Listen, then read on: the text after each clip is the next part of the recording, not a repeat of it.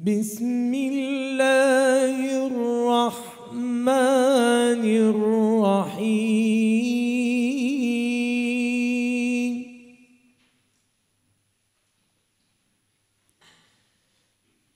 الحمد لله رب العالمين.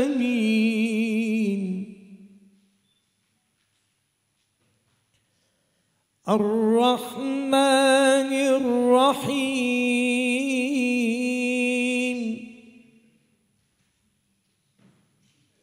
مالك يوم الدين.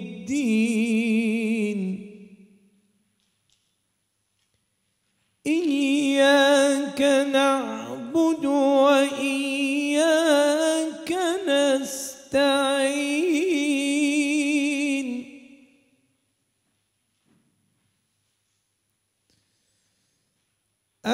الحمد لله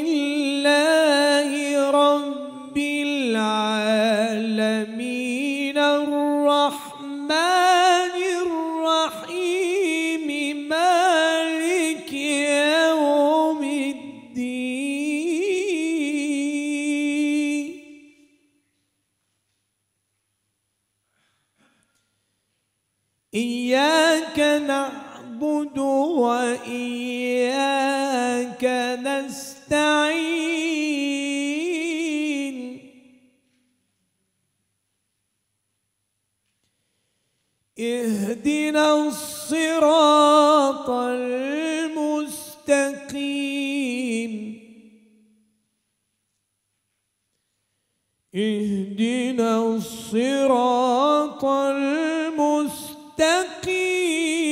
صراط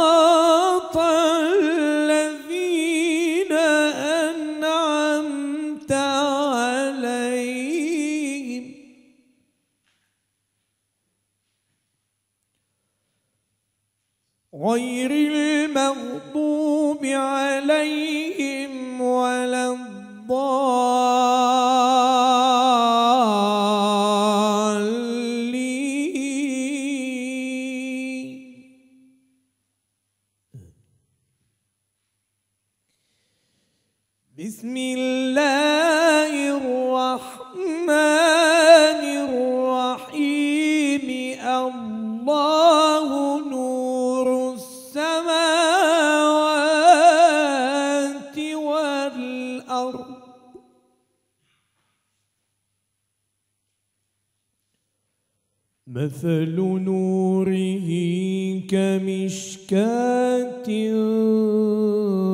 فيها مصباح.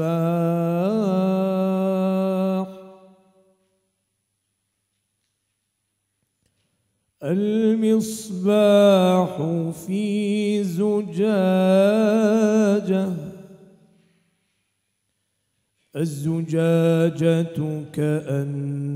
كأنها كوكب دري.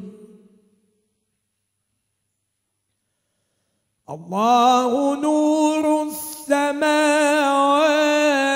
والأرض مثل نوره كمشكاة.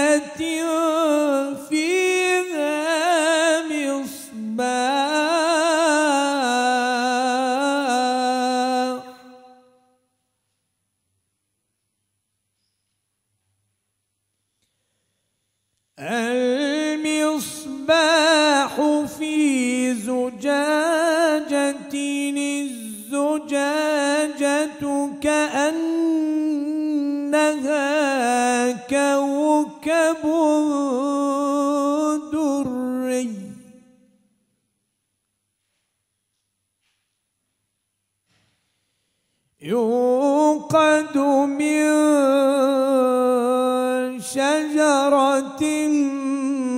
مباركة زيتونة.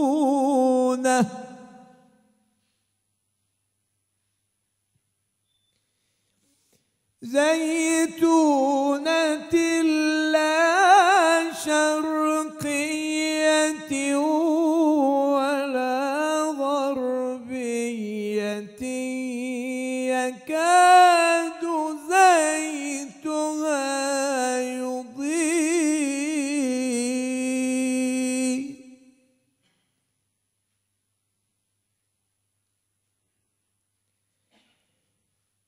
يكاد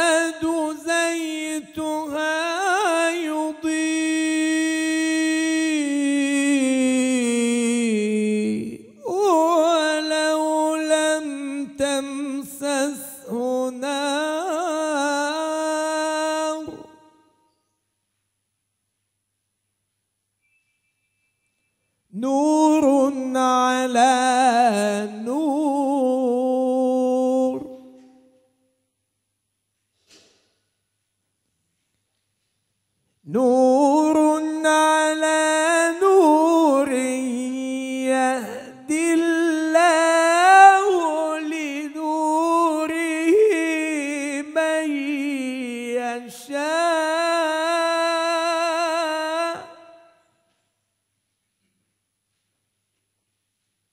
والله بكل شيء عليم. والله بكل شيء عليم.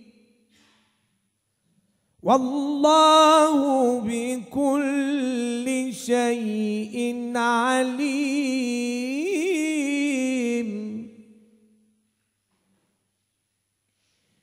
في بيوت أذن الله أن ترفع ويذكر فيها اسمه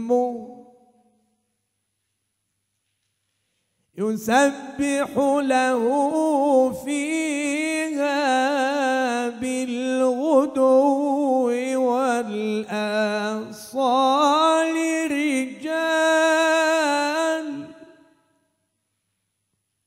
رجال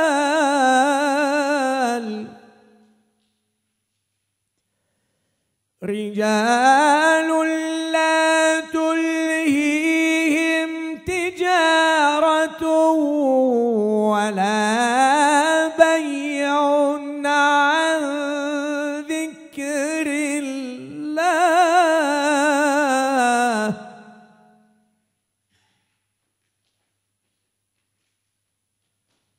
وإقام الصلاة.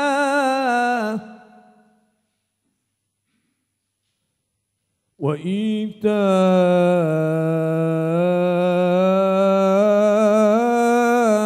الزكاة.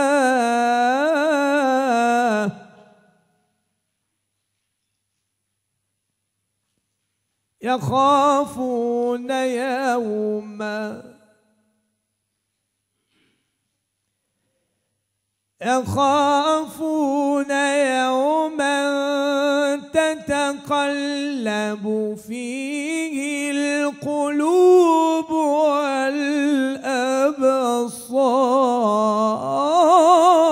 والأبصار ليجزيهم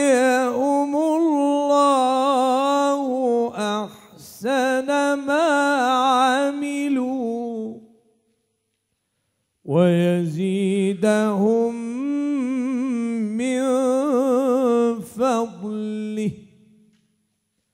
والله يرزق من يشاء بغير حساب. صدق الله العظيم שמי רחל יוקליז, ואני יוצרת אוסף האסלאם והמזרח התיכון בספרייה הלאומית. אני רוצה להודות לכם על זה שהגעתם למפגש הראשון שלנו, של ה- הס- הסדרה החדשה, כתבי קודש ויצירות מופת בתרבות האסלאם. אני גם רוצה להודות לשייח המכובד, אימאם עטאלה נאסר, שהוא אחד מהחמישה אימאמים של מסגד אל-אקצא, שהוא נתן לנו את הכבוד הזה. אוריד...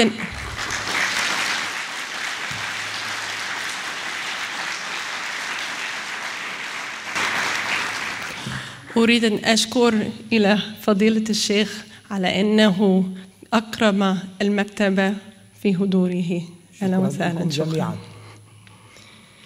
הערב יש לנו מפגש מאוד מיוחד, וזה משקף את המקום שהספרייה הלאומית שואפת להיות, שזה האוהל הגדול, המקום שכל אחד מוזמן.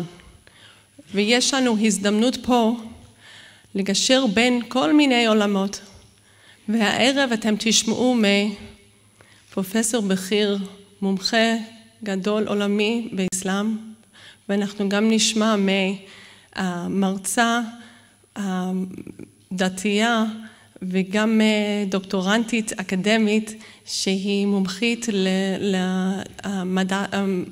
למדעי הקוראן, ואנחנו גם נשמע ממישהו שמשלב בין כל מיני תרבויות, שהוא מצד אחד הוא דוקטורנט בערבית יהודית, מצד שני הוא אימם והוא מוכשר בעצמו בקריאת הקוראן ומדעי הדת האסלאם.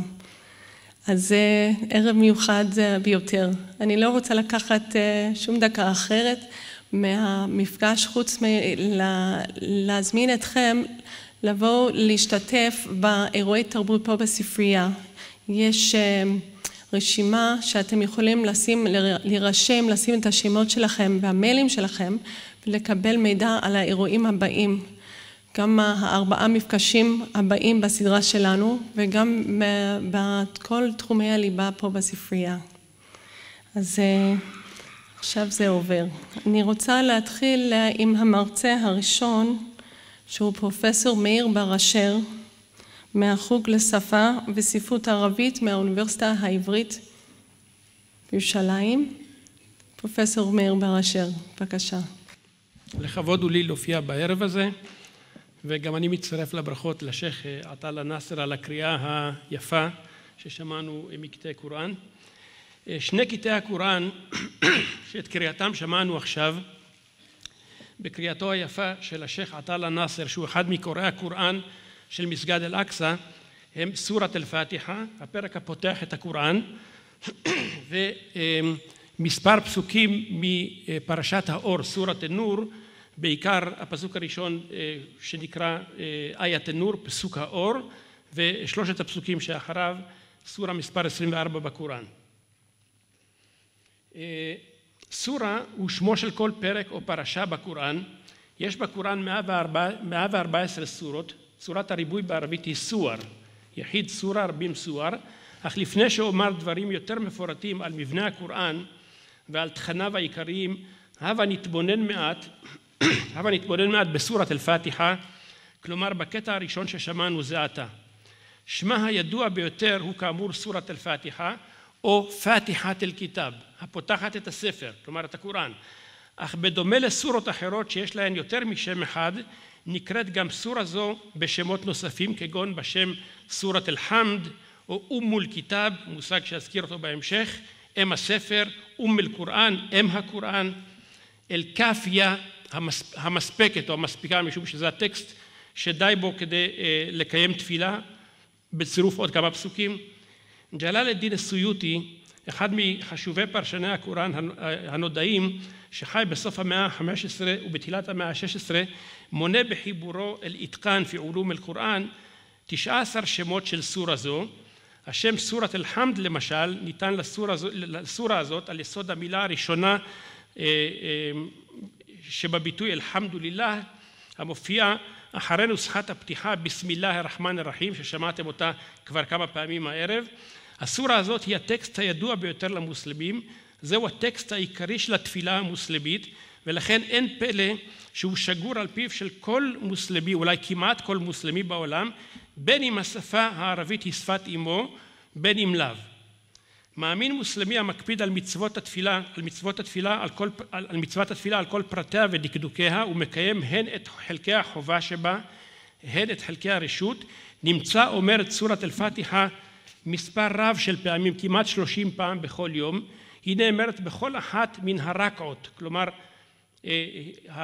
פעולות הקריאה וההשתחוויה שעושה המוסלמי בתפילה רקעה רבים רוקע את מעמדה המרכזי כטקסט פולחני באסלאם ניתן להשוות לקריאת שמע כטקסט יסוד טקסט מכונן.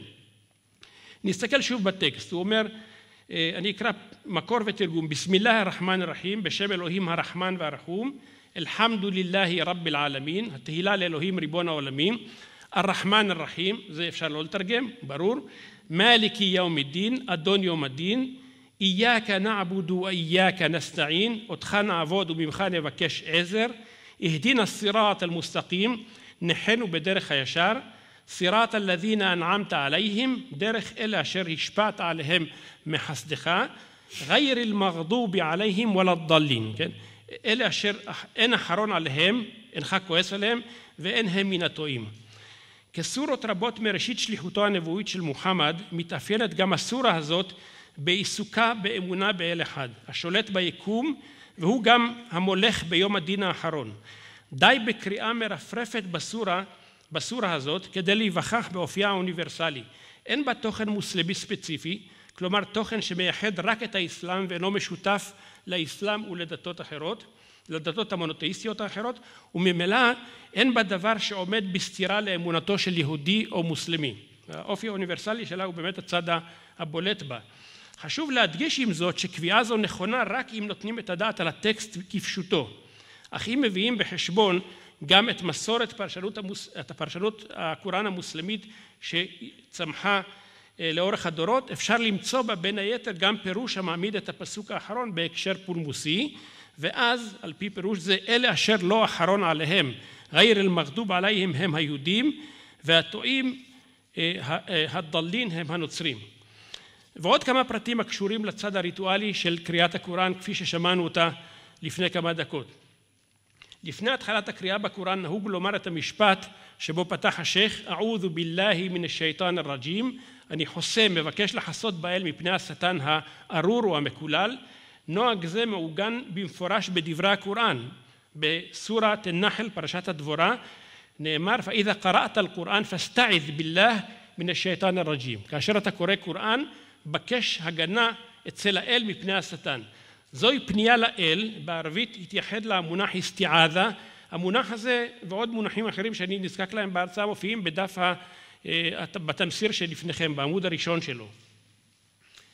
אם כן, זה נוסחת שבה מבקש המאמין מן האל שיגן עליו מפני השטן העלול לשבש את דרכו של המאמין ולבלבל את אמונתו וגם את קריאתו. בסוף הקריאה בקוראן נהוג לומר את המשפט שאכן שמענו אותו מפי השייח, סדק אללהו אל-עזים, אמת דיבר האל העצום, כלומר בכך מעיד המאמין על אמיתות דברי הקוראן שזה עתה סיים לשמוע אותם או לקרוא אותם. הקוראן הוא על פי האמונה המוסלמית דבר האל לנביאו מוחמד, מקורו של הקוראן הוא באם הספר, אום אול כיתב, הזכרתי קודם את המונח הזה, שהוא ספר שמימי, מעין אב טיפוס של ספר האל השמור עמו והוא גם, גם מקורם של כתבי קודש אחרים, כגון התורה, התאורה, מונח המציין את כלל כתבי הקודש היהודיים ולא רק את החלק הידוע במסורת היהודית כתורה. הוא מציין את כל התנ"ך ולפעמים גם, גם חלקים שמחוץ לתנ"ך.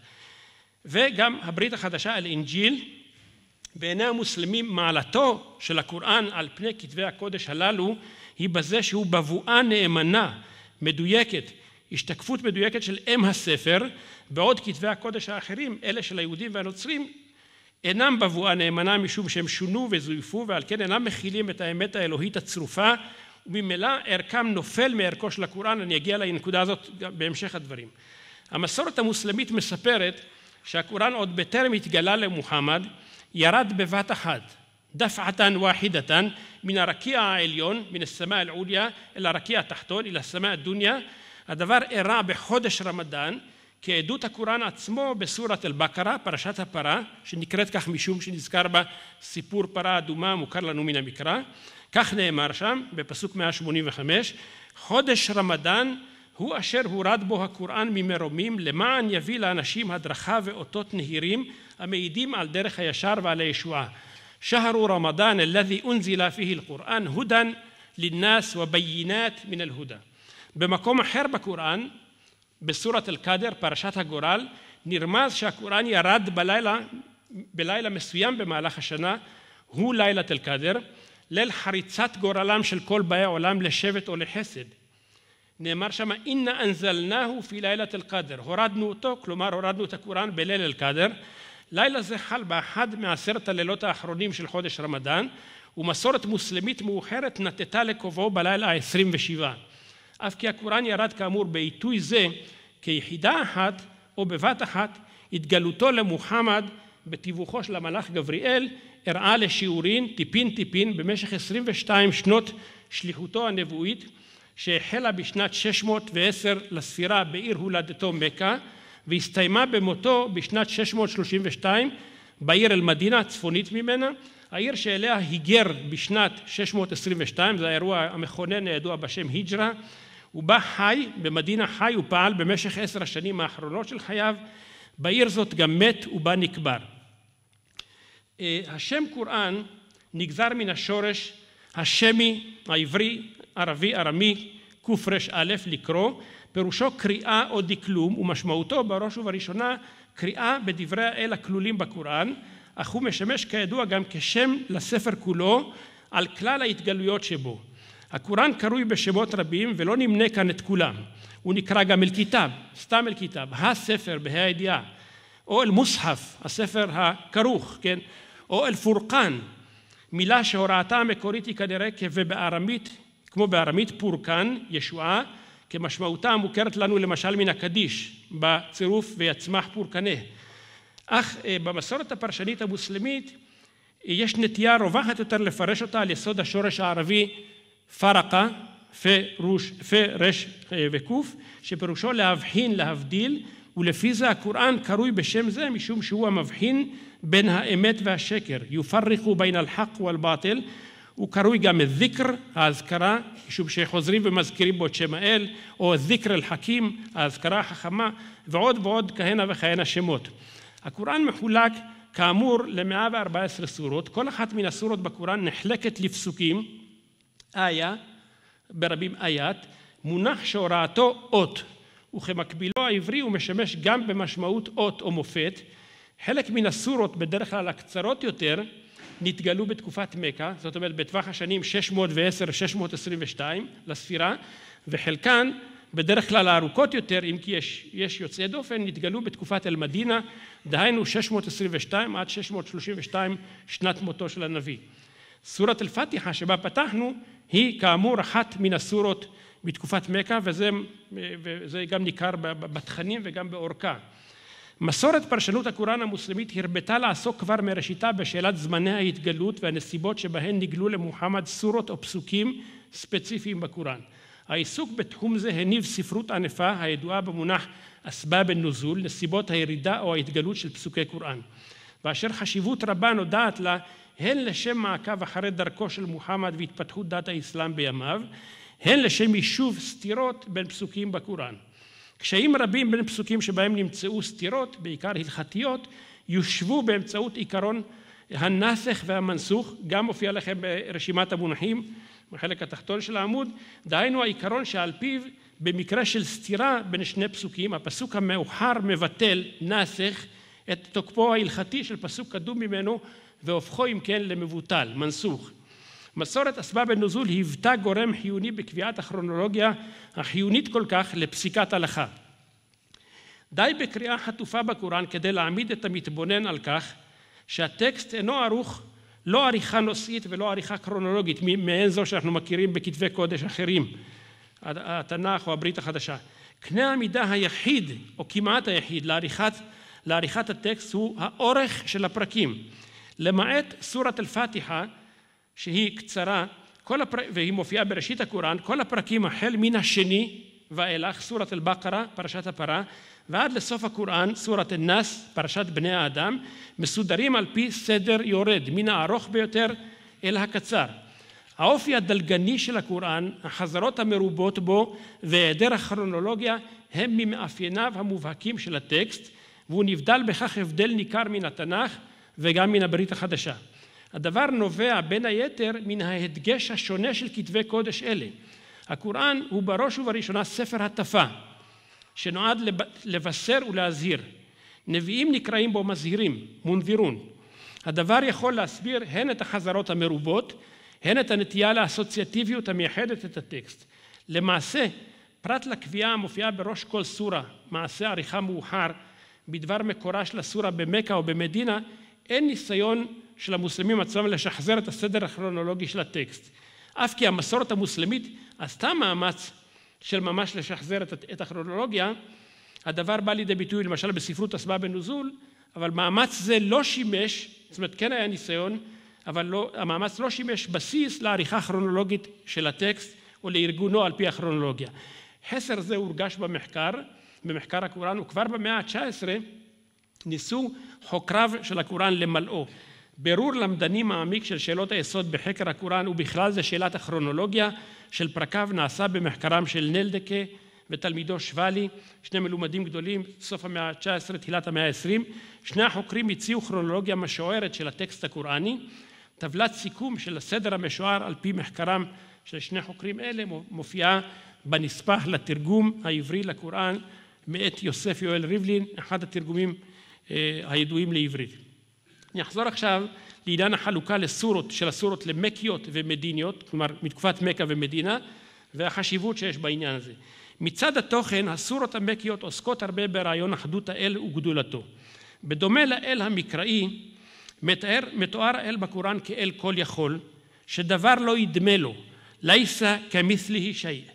הוא, הוא בורא העולם ומנהיגו, הקוצב חיים לאדם, גומל לרשע רע ולצדיק טוב, אל היודע רזי עולם, שאין דבר נעלם ממנו, גלוי כנסתר, עלם אל גייב והשהדה, הוא יודע את כל צפורותיהם של בני אדם, אך הם אינם יודעים אלא את אשר יחפוץ, שידעו, ובלשון הקוראן, בפסוק כיסא הכבוד, שזה אחד הפרקים שמופיעים בתמסיר שלכם, יש ארבעה פרקים שמופיעים בשלוש עמודות, ערבית, תעתיק לעברית ותרגום, אז מופיע הפסוק אה, שמבטא את הרעיון הזה, יעלמו מה בין איידיהם ומה חלפהם ולא יחיטונה בשאין מן עלמه אילה במה שאה. הוא יודע את כל מה שנמצא לפניהם ומה שמאחוריהם, אבל הם, בני האדם, לא יודעים דבר ממה שהוא יודע. בסורות המקיות רווחים גם תיאורי תחיית המתים, חזונות אפוקליפטיים, עמידתם של בני אדם למשפט האחרון וחריצת דינם לגן עדן או לגיהינום.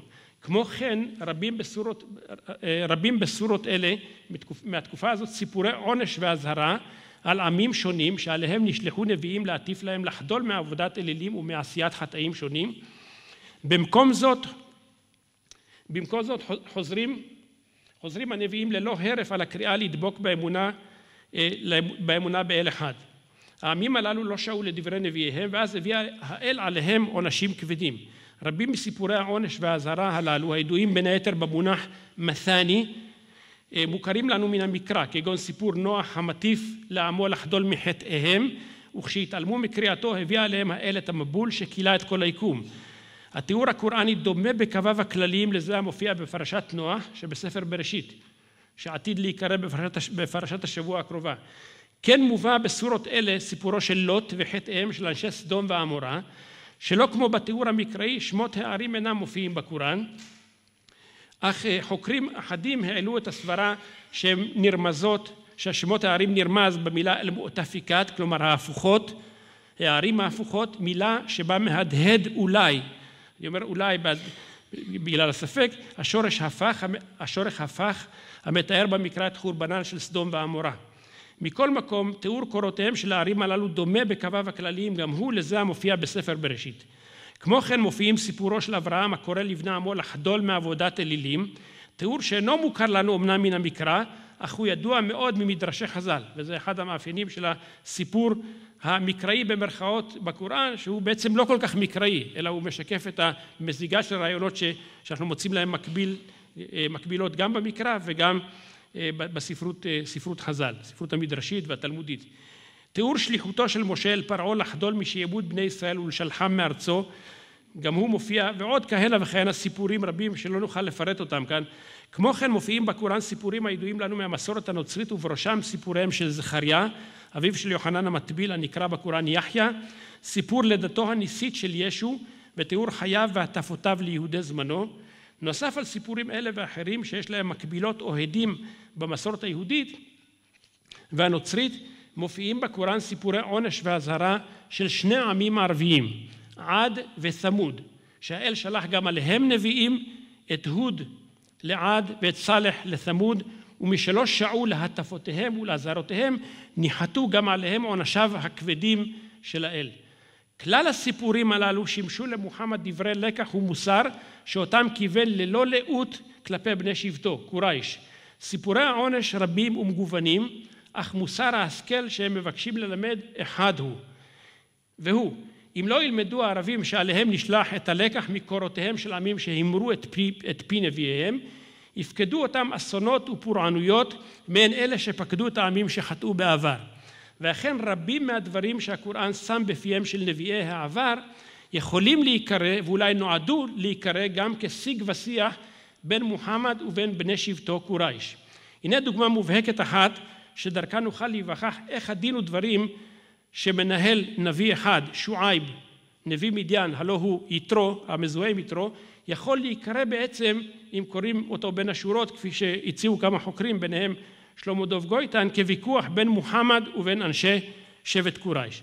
כך נאמר שם, לא יודע אם הטקסט, חשבתי שהוא יוקרן פה, אבל אני אקרא לכם אותו, אני אקרא אותו רק בתרגום כדי לחסוך זמן. אז זה לקוח מתוך סורה 11, הוד, פסוקים 90-93. שועייב אומר לבני עמו, בקשו מחילה מריבונכם, ואחר חזרו בתשובה, ריבוני רחום וחומל. הם עונים לו, שועייב, לא נוכל להבין רבים מדבריך, ורואים אנו כי חסר, כי חסר אונים אתה בקרבנו. אלמלא בני משפחתך היינו סוקלים אותך. ואין אתה, ואין אתה כה אדיר כוח בעינינו. אמר שועייב, האם בני משפחתי אדירים בעיניכם מאלוהים? על כי השלכתם אותי מאחורי גבכם, ריבוני חולש על מעשיכם. בני עמי המשיכו בשלכם, וגם אני אמשיך בשלי, ועוד תיווכחו לדעת על מי מאיתנו יבוא עונש הקלון, ומי מאיתנו מפיח כזבים, פיקחו עין וגם אני אפקח עין עמכם. זה מהתרגום של רובין, ניסיתי פה לעשות צדק למתרגמים של העבר, יש קטעים שהובאו בתרגום יוסף יואל ריבלין, אבל הקטע הזה הבאתי בתרגומו של אורי רובין, התרגום מחדש. ובכן אפשר לראות, כפי שהציעו חוקרים, לקרוא את השיג ושיח הזה לא רק כאיזה דיאלוג בין בין שועייב ובין אנשי מדיין בעבר הרחוק מאוד, אלא גם כדיאלוג בין מוחמד לבין אנשי שבטו, וככה אפשר לקרוא לא מעט בסיפורי הנביאים, ואולי זה, זה, זה בין היתר עיקר תכליתם.